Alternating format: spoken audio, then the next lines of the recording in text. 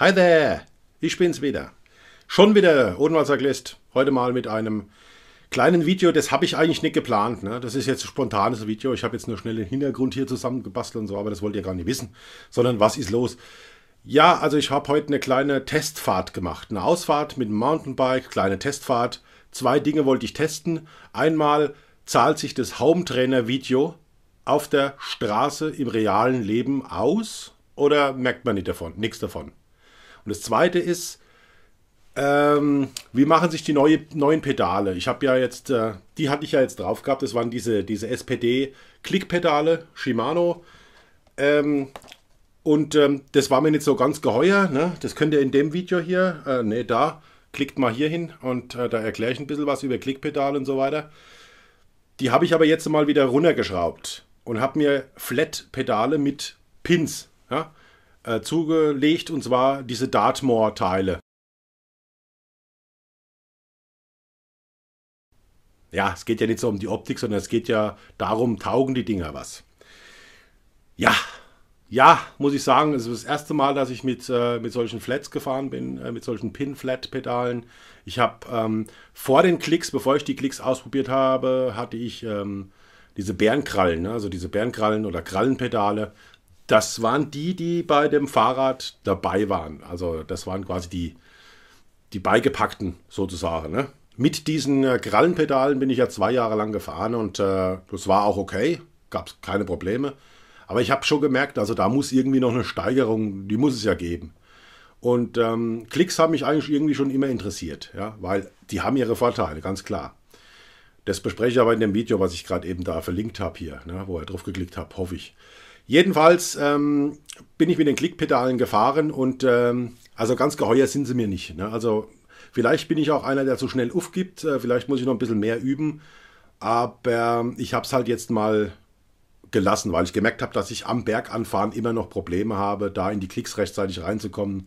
Und ähm, da ist mir einfach das, die Gefahr, dass ich da auf die, auf die Gusche falle, einfach zu groß. Deswegen habe ich gesagt, okay, Mach mal das Experiment, äh, bestell dir mal diese Dartmoor-Dinger da, die sind relativ günstig. Ich glaube, die kosten 25 Euro oder was. Also die sind echt nicht teuer. Oder 30 Euro vielleicht. Sind echt nicht teuer und ähm, ich habe sie heute probiert. Und ich muss sagen, wow, geiles Zeug. Also wirklich, muss ich sagen, Bombe. Macht Spaß mit den Dinger zu fahren. Ähm, ich habe ganz normale Adidas Turnschuhe angehabt. Das sind ältere Turnschuhe, die sind schon ausgefranst, aber die sind sau bequem und ich habe die auf dem Fahrrad wunderbar ähm, quasi schon eingepaddelt, wenn man so sagt.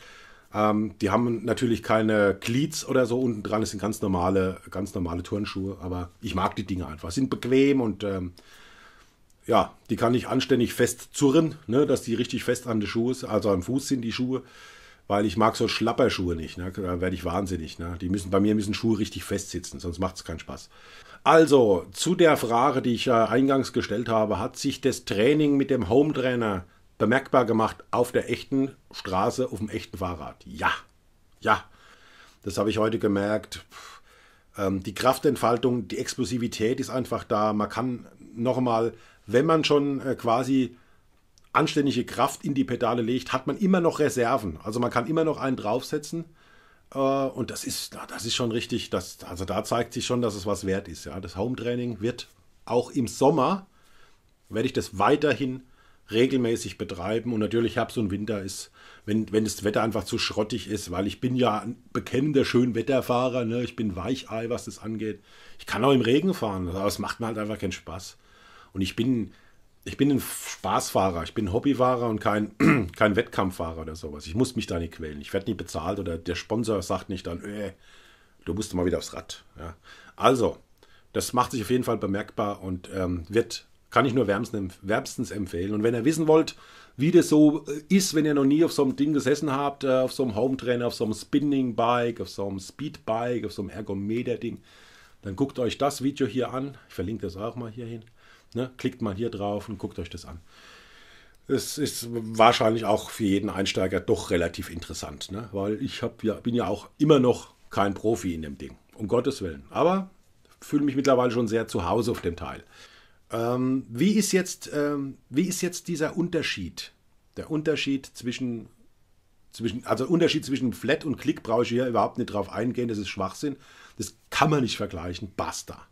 Aber den Unterschied zwischen dem Krallenpedal äh, oder Bärenklaue-Pedal, wie auch immer, und äh, diesem Flat, äh, Flat-Pedalen mit Pins, der Unterschied ist auch signifikant. Ja.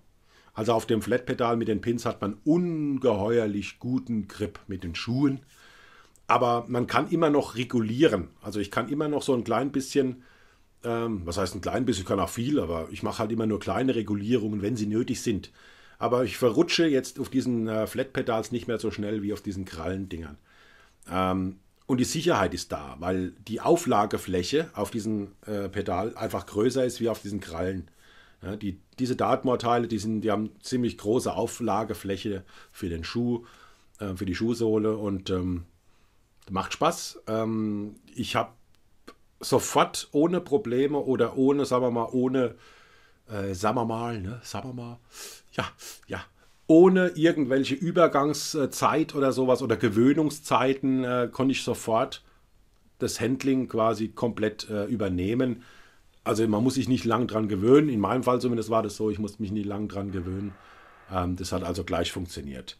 Und egal, ob ich jetzt den ähm, Hügelchen hochfahre oder Hügelchen runterfahre oder auf der geraden Speed geben möchte oder bergab Nummer Speed geben möchte, ich habe hier einfach die Sicherheit in den Pedalen.